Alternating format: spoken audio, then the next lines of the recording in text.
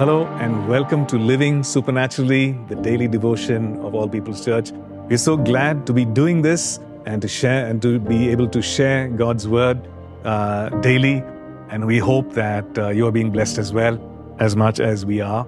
Uh, today, we are looking at uh, this question that the Lord Jesus asked Peter Who do you say that I am? And I believe He's asking us, each one of that question, each one of us that question, Who do you say that I am?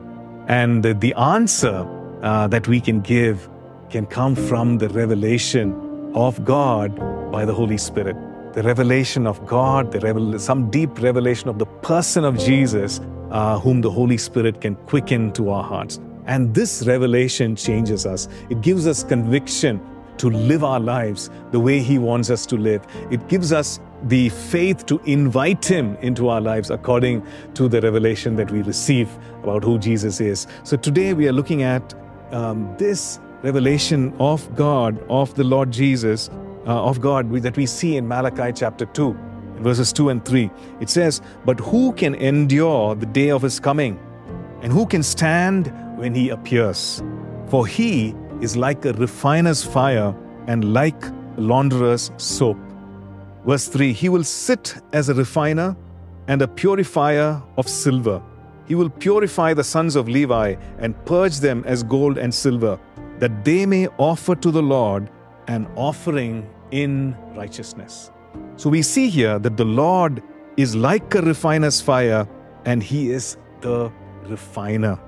He refines us so that we are our hidden faults are removed. He refines us so that all that is uh, wasteful, all that is worthless, all that is not useful is removed out of our lives. Just like how a refiner will refine or a goldsmith will refine the gold, or a worker of silver, workmanship, will refine the, the silver and remove it of everything um, of, of not of value, uh, anything that is mixed with other, other metal. The same way the Lord removes those things away from us. And we see this because He uh, does this through the work of the Holy Spirit. He baptizes us with the Holy Spirit for this purpose. And we see that in Matthew chapter 3. Uh, it says that Matthew chapter 3 and uh, uh, John the Baptist is introducing the Lord Jesus, and he says that, that he who comes after me, he will baptize with Holy Spirit and with fire. And he also says that, you know, the winnowing fan in his, is, is in his hand, and he will thoroughly clean out his threshing floor, and he will burn up the chaff with unquench- unquenchable fire, referring to the work, the ministry of the Holy Spirit to refine a person's life.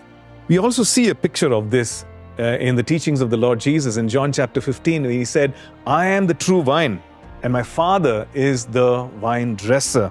And he says, Every branch in me that does not bear fruit, he takes away, but every branch, that bears fruit, he prunes it that he that it may bear more fruit. He prunes it, meaning he trims, he removes whatever is unproductive so that it might be fruitful.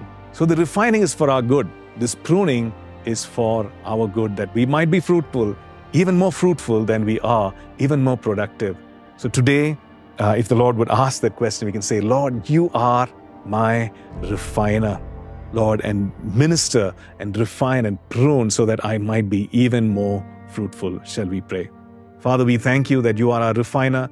You refine us like gold. You prune us, Lord, so that we might be fruitful, even more fruitful. And Father God, we thank you that you choose to do this. Yes, Lord, for our good. And Lord, sometimes you bring in loving correction and is always through your word and your spirit, because that's that's the that's your very best, Lord, for us, Lord.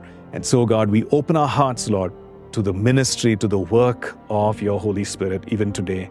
We thank you. In Jesus' name we pray. Amen. Thank you for tuning in to Living Supernaturally. For more resources to strengthen your spiritual walk, please visit apcwo.org.